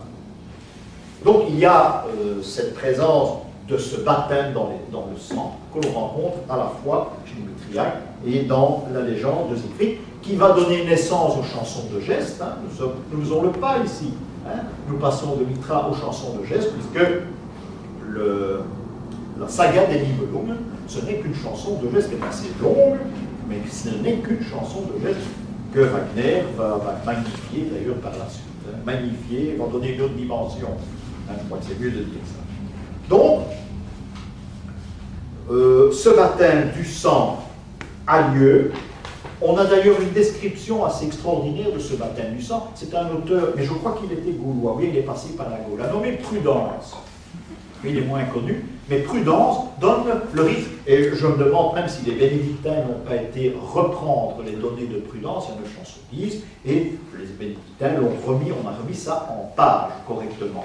Mais Prudence, je crois qu'il est gaulois, Prudence a écrit le rite, et c'est grâce à lui que je peux vous donner aujourd'hui les différentes, stations de cette initiation à. Il était chrétien, Prudence. C'est aussi un je ne sais. Moi, je crois qu'il était gaulois. Donc, il s'agit d'une cérémonie de baptême, mais une cérémonie également de consécration. Donc, celui qui a été baptisé renaît en principe pour l'éternité. Il sera admis dans la communauté des disciples de Mitra, dans la communauté mitriaque. Il est donc autorisé, après ce baptême, à participer au repas commun. Avant ça, il ne peut pas avec les autres. Non, il est invité, cette fois, il a reçu le baptême, il y aura les épreuves par la suite. Mais il est invité à partager le repas, et tenez-vous bien, ce repas est composé uniquement de pain et de vin. Hmm? C'est pas gras comme menu, mais enfin, ils mangent avec les autres, c'est ça qui compte, c'est la compagnie. Hein. C'est pas tellement ce qu'on a dans son assiette. Je ne vais pas vous faire un dessin, c'est ce qui va vous introduire le rite de la Sainte Messe, parce que tout s'y trouve. Hein. Alors, parlons de cette initiation à Mitra qui va se dérouler en sept étapes. Encore une fois, ce sont les sept étapes vers, euh, pour accéder à la connaissance, comme les sept notes qui vont nous permettre de connaître la musique. Hein, il y a peu des tas d'exemples comme cela. Donc, sept étapes, et euh, chaque étape va correspondre, euh, chaque étape va correspondre à un symbole, un symbole bien particulier qu'il faudrait étudier bien en détail. Alors, c'est à euh, c'est à Ostie, près de, près de Rome, à l'embouchure du Tibre, près, près de Rome, que l'on a fait euh, une foule, qui existe encore d'ailleurs, une foule d'inscriptions. Hein, ce sont des fresques, des bas-reliefs euh, sur ce rite d'initiation. Je crois que c'est un exemple qu'on donne généralement à Ostie. Euh, à Ostie, il y avait ce qu'on appelle un mitrium, qui était très important. C'est l'endroit où se rassemblent les disciples de Mitra. Bon, il y en avait un à, Metz, je crois qu'il existe encore en partie à Luxembourg, il y en avait à Luxembourgville, il y en avait à Trèves aussi. Bon, alors nous allons refaire euh, cette initiation. Nous allons étudier ces sept phases qui sont considérées maintenant comme sept grades, étant donné qu'il s'agit d'un ordre militaire avant tout. Donc il y a sept grades. Euh, le premier euh, s'appellera le corax, c'est-à-dire le corbeau. Imaginez-vous qu'on est automatiquement ici lié à nouveau avec l'alchimie. L'œuvre noire est représentée par le corbeau. Hein, je ne vais pas vous faire un dessin vu la couleur de son plumage. Le corbeau, eh bien, ce n'est pas uniquement l'oiseau, comme nous le connaissons. Le corbeau, eh bien, c'est le nom corax que l'on donnait au héros d'armes, celui qui annonce. Au Moyen-Âge, on va encore le rencontrer. Hein. Après, ça va disparaître. Il changera de nom, ce sera officiellement l'héros, mais c'est le corbeau d'abord. Oui, ça prendra une autre signification par ailleurs, mais ça n'a plus, plus, aucun intérêt, je pense, avec ce qui nous occupe. Donc, Mitra, je vous l'ai dit, est toujours entouré de signes du zodiaque, sauf celui-là que je vous montrer. Et encore, il faudrait peut-être décrypter ces représentations, qui finalement peuvent être peut-être secrètes, mais pour ma part, il y a encore un encerclement autour que malheureusement on ne possède pas. Donc, euh, je vous l'ai dit, le taureau, c'est également la représentation du nerf qui est commémoré, mais le corbeau, dans le rôle du héros, c'est quelqu'un qui annonce, c'est un messager. Donc, euh, nous avons la présence de ce corbeau.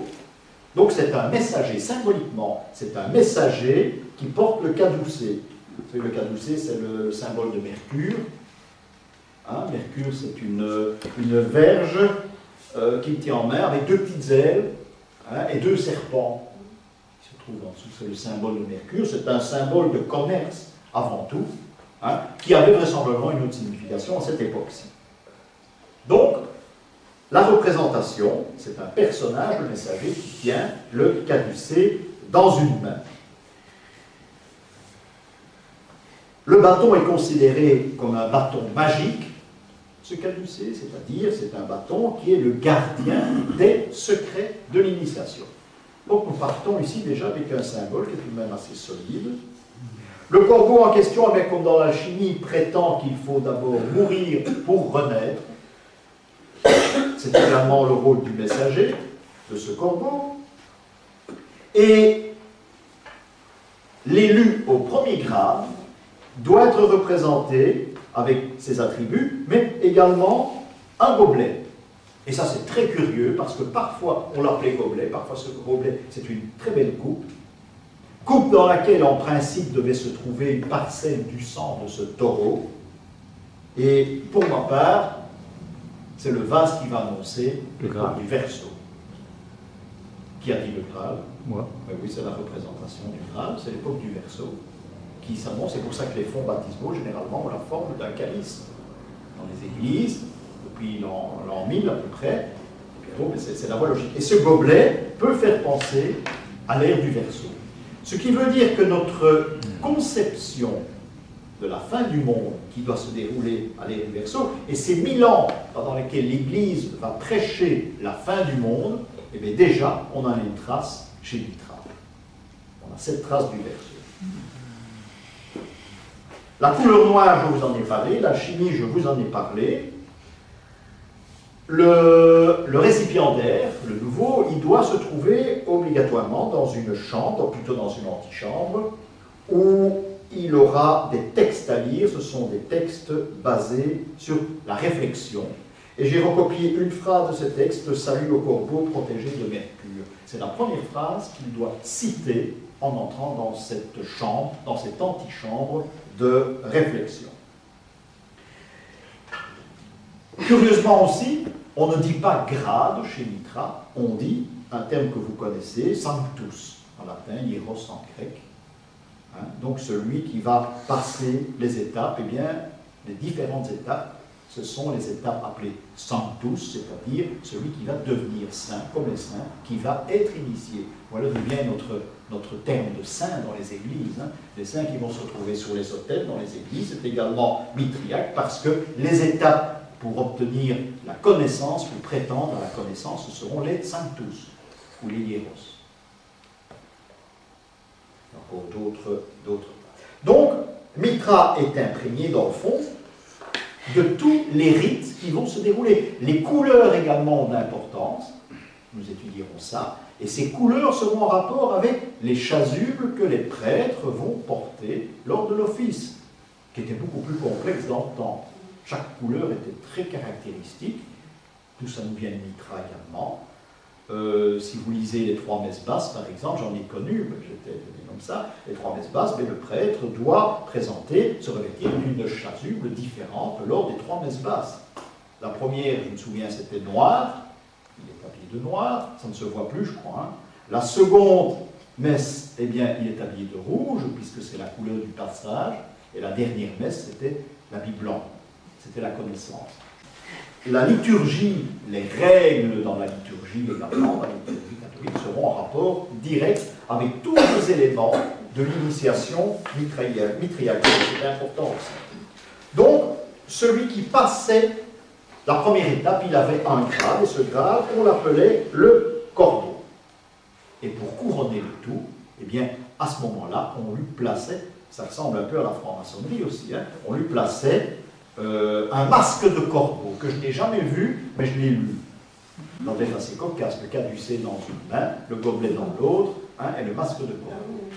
Bon, nous sommes dans le deuxième grade, le deuxième sanctus, qui s'appelle nymphos, c'est-à-dire l'époux. C'est curieux ce terme. Le deuxième grade permettra aux nouveaux, aux futurs initiés, de s'appeler l'époux. Alors les bénédictins prétendent que cette partie de la cérémonie devrait donner naissance aux vierges folles, aux vierges sages qui sont présentées dans une cathédrale. Je n'ai pas plus de détails, mais je vous le dis tout de même en passant.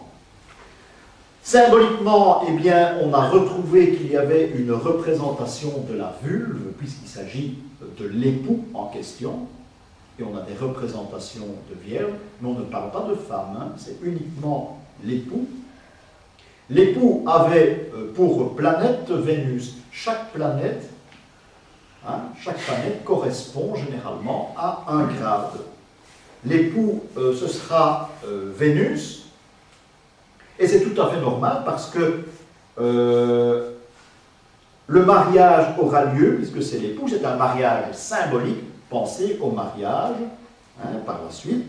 C'est un mariage avec Mitra, chose que certains membres les ecclésiastiques euh, également procèdent à un mariage avec une divinité, où les, les, les, les, sœurs, par exemple, sont toutes mariées avec Dieu. Par exemple, ça nous est resté de là aussi, hein, du moins en croire les bénédictins. Donc, ce sera la deuxième initiation. Hein. Il, y a, il y aurait une représentation de la vulve représentée par le symbole, et puis une flamme ou une toute petite lampe. J'ai vu les deux. Une flamme, une petite lampe, et on retrouve cette flamme, cette lampe, d'abord chez les vierges sages, chez les vierges folles, mais surtout chez les sibylles, ces prophétesses par la suite. Hein. Et puis on le rencontrera après chez nos saintes, hein, comme Saint Gudule, on a vu ça. Ça c'est une certaine évolution. C'est la même image. Donc, l'époux sera nommé symboliquement. Cette deuxième phrase, il s'appellera dorénavant. L'initiation peut éventuellement s'arrêter ici, puisque je vous passe vous-même les détails que l'on ne connaît généralement pas, puisqu'on a brodé aussi. Quand on ne connaît pas, il faut broder. Il y a d'autres détails qui entrent en ligne de compte. Je vous donne euh, uniquement et très théoriquement ce qui se passe et le nom qu'on donne au grade de la. Le troisième grade très important, c'est milès, c'est-à-dire le soldat. N'oubliez pas qu'il s'agit d'un ordre militaire avant tout. Et au troisième grade, euh, au troisième grade pardon, le néophyte deviendra soldat. Milès. Ordre militaire. Euh, milès, oui, euh, parce que ce, n'est pas le mot soldat, hein, parce que le soldat est euh, qui est assez déprécié à l'époque, parce que c'est celui qui touche sa solde dans le front, hein, le soldat. Mm. Hein? Hein, c'est pas, pas vu de la même chose, tandis que Milès, ça a quand même un caractère plus noble que le simple soldat. Militaire?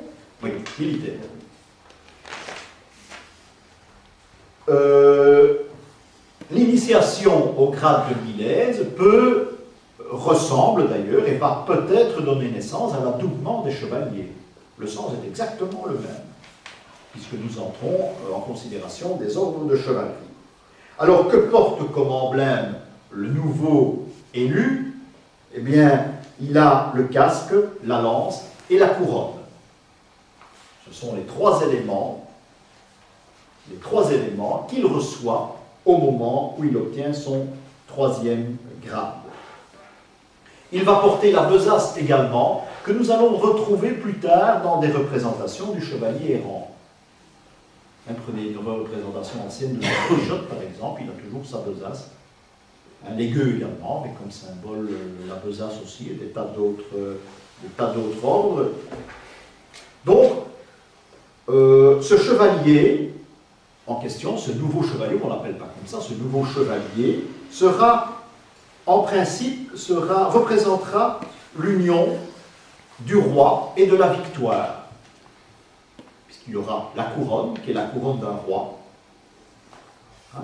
N'oubliez pas qu'en alchimie, notamment, l'ensemble du roi, de la reine, c'est la victoire aussi. Hein. Hein, ça peut se retrouver dans les anciens Et le chevalier, par la force des choses, il a comme représentation la planète Mars. c'est l'homme du sang, c'est l'homme de la guerre, c'est l'homme du terrain. Donc, et la couleur rouge par la même occasion. On a le quatrième degré qui, lui, s'appelle le Léo, c'est-à-dire le lion, le lion, ce quatrième degré. Le lion, c'est le feu, un des quatre éléments, et le lion doit être représenté à ce quatrième stade, obligatoirement l'an passé. Hein, je vais rectifier une petite erreur que bien malheureusement on fait assez souvent, parce que c'est une erreur, euh, c'est prêché par ignorance. L'an passé ne veut pas dire la langue mais récemment, et ça se rencontre souvent, on parle d'un lion l'an passé, c'est un lion qui sort de la langue de la bouche, c'est faux.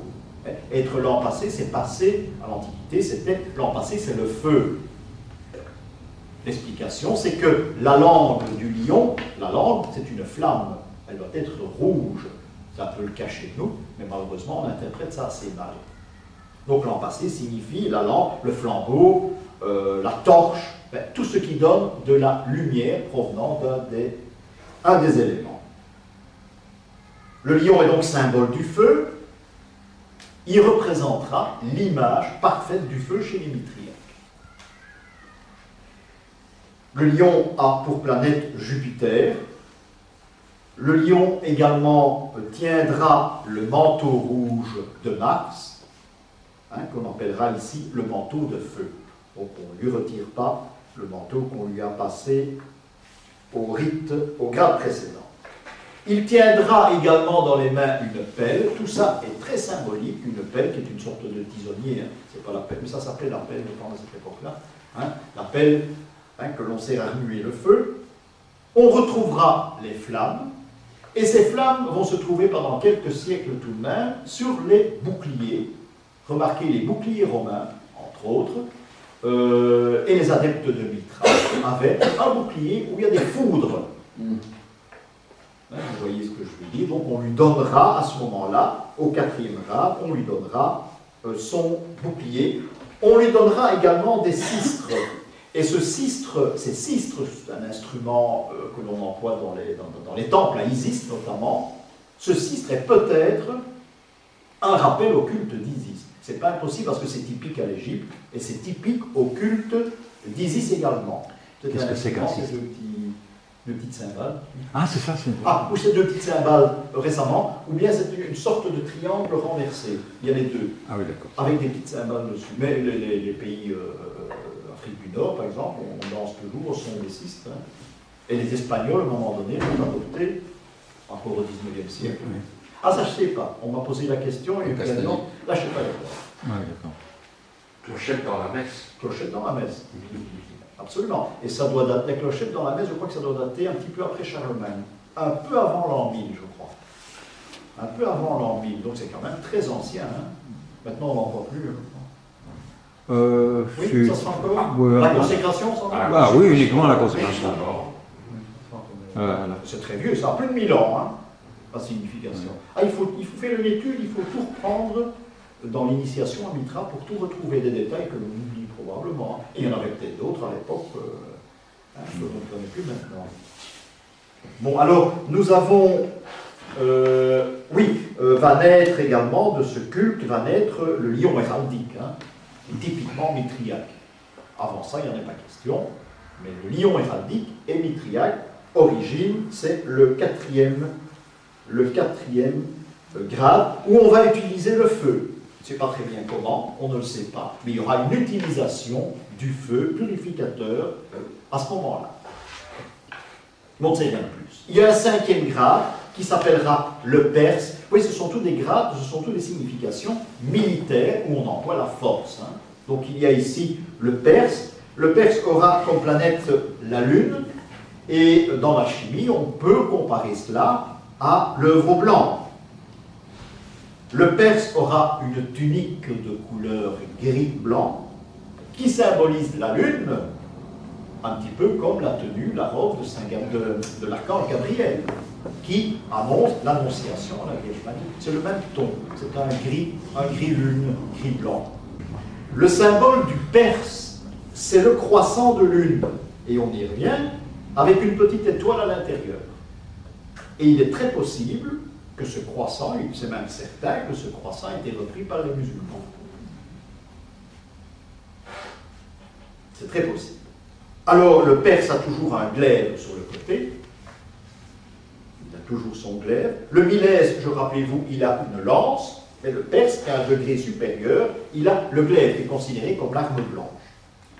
Et les couleurs interviennent aussi énormément dans cette euh, cérémonie d'initiation je crois que dans les, ordres militaires, c'est le soldat qui portait. Chez les, lanciers, c'est le soldat qui portait la lance et l'officier tenait le, glaive. Hein.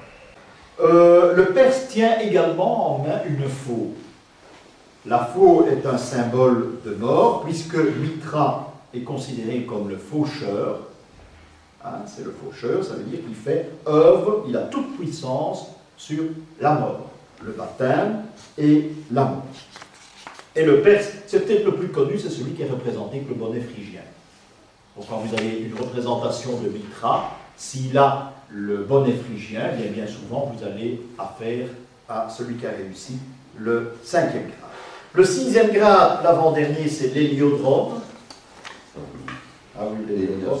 L'héliodrome, c'est celui qui court après le soleil. Hein. C'est ça l'héliodrome. Hein, c'est le grade de sixième. C'est un haut grade, hein, puisque rien, c'est presque officier supérieur euh, pour euh, notre armée actuelle.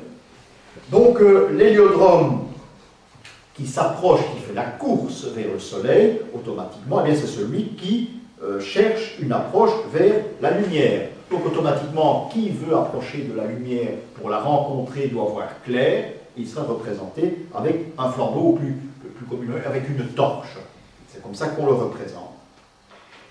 Vous connaissez également cette représentation. Je pense, quand on représente un disciple de Mitra avec un flambeau et une couronne derrière la tête, une couronne avec des pointes, on représente parfois comme cela, eh bien il s'agit d'un disciple Mitra qui a réussi la sixième épreuve, le sixième grade, le sixième sanctus. Cette pointe du soleil doit donner naissance, cette couronne en soleil à une bravoure qui est le sol invictus, c'est-à-dire le soleil invaincu, qui deviendra la devise d'Émitriaque et qui sera la devise de Constantin jusqu'à sa mort. D'ailleurs, si vous connaissez, si vous collectionnez les, si vous êtes numismate, il y a des pièces de Constantin, il y a toujours un soleil, il y a toujours la devise, pour autant qu'elle existe encore, n'est pas rabotée avec Sol Invictus. Les numismates connaissent l'histoire. Également, le sixième grade, on doit fournir au nouvel initié, au futur initié, un fouet. C'est très intéressant parce que c'est ce fouet qui va lui permettre, c'est symbolique, lui permettre d'aller à la recherche, à la poursuite du soleil, hein, mais sur son char avec des chevaux. Mythologiquement, ça existe déjà, on l'a déjà rencontré. Donc on a cette présence de celui qui est sur son char, hein, qui poursuit le soleil. Pour manier les chevaux, mais il faut un fouet. Voilà pourquoi le sixième grade, eh bien, le personnage en question tiendra obligatoirement un fouet euh, dans la main. Un petit peu comme la légende de celui qui, prétend qu'il n'est pas le fils du soleil et qui veut mettre le soleil à l'épreuve. Hein, et il part sur le char avec les chevaux, il ne sait pas comment manier, il n'a pas été initié, c'est comme Icar aussi, il n'est pas initié, mais il a tous les problèmes. Il a tous les problèmes. Ici aussi, je ne me rappelle plus comment il s'appelait encore celui qui maniait les chevaux, c'est le fils du soleil. Phaéton Phaéton, c'est ça. Euh, Phaéton qui euh, conduit les chevaux parce qu'il a mis, il ne croyait pas que le soleil était son père, il a mis son père à l'épreuve, il a demandé les chevaux hein, et il les a reçus, seulement c'était un désastre. Hein. toute, une page de l'histoire de l'Antiquité, de la mythologie antique d'ailleurs, va découler de cette aventure, très triste aventure. Donc il porte au sixième grade un fou. La planète sera le soleil, bien sûr, on ne va pas intervenir. Le dernier grade, eh bien, c'est le grade suprême il ne devait pas y en avoir beaucoup. C'est le parfait chez les cathares. Hein. Ce sera le père, le pater, ce sera le père. Celui qui, est, qui a le septième grade sera considéré comme le père de la communauté. Hein. Ça deviendra plus tard le père de l'Église. Parce qu'on va retrouver ce père qui est rarement représenté, j'en ai vu une seule fois, et je crois qu'il y en avait un tout à l'heure, du moins une représentation, le père doit obligatoirement poser sur la tête au représentant avec la mitre. Mitre de l'évêque, mais mitre, là je ne vais pas vous faire un dessin qui vient bien de mitra. Et les chrétiens en ont donné une certaine forme, que la mitre de l'évêque, si vous la posez horizontalement, eh bien, c'est la bouche d'un poisson. Ce qui nous rappelle, depuis que la mitre a été posée sur la tête de nos évêques, ce qui nous rappelle que nous sommes dans l'ère des poissons. mitre, mitra. Celui qui passe le septième grade aura donc la mitre et il aura une crosse et un manteau rouge. Obligatoire, manteau rouge, crosse et mitre. Il ne faut pas vous faire de dessin ici, c'est très parlant. C'est le père après, ce sera l'évêque euh, par la suite. Le grand, le nouveau, reçoit un anneau.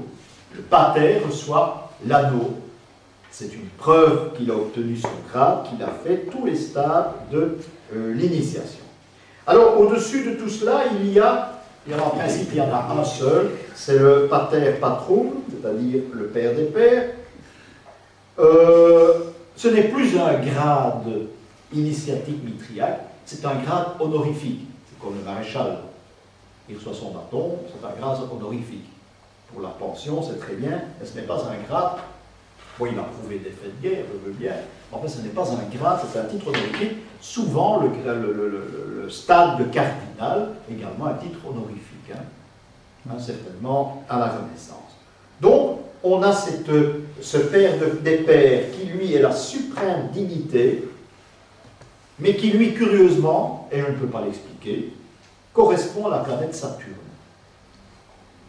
et pas au Soleil. Pourtant, c'est le plus haut grade dans l'initiation euh, mitriaque. Que tout ça nous a été transmis par le biais des bénédictins, ce qu'eux ont trouvé lorsque c'était les grands chercheurs. Et c'est tout ce que nous possédons dans les grands détails. Dans les grands détails. Et à la septième épreuve, pour devenir euh, pater, le père, eh bien, il devait poser la mitre, comme nos évêques, et à l'épreuve honorifique, qu'on n'est pas le rite, l'épreuve honorifique, il devait retirer la mitre, la placer sur l'autel de mitra, et on lui imposait la tiare. Tiens, tiens. Oui, oui. La tiare qui n'était pas la, la, la tiare que l'on voit actuellement, représenter les trois couronnes ou bien le pain de sucre, non, c'était une tiare en tissu, mais ça s'appelait la tiare. Ça s'appelait la tiare. Donc, un grade honorifique, protégé par Saturne, il devait tenir la faux de Saturne, parce que comme je l'avais dit, Saturne représente la mort, mais euh, la mort doit être représentée par un symbole, c'est-à-dire également, comme tout au début, la faux. Il est possible que c'était quelqu'un qui rendait la justice. C'est très possible, mais on n'en a pas de détails. Moi, je n'en ai jamais, ai jamais trouvé. Donc, il a un pouvoir. Il pourrait avoir le pouvoir de vie et de mort sur les hommes. Tout en étant justicier, c'est possible. Il avait de toute façon, avec la faux, il a, au grade où il se trouve, il a un pouvoir sur la vie et sur la mort des hommes.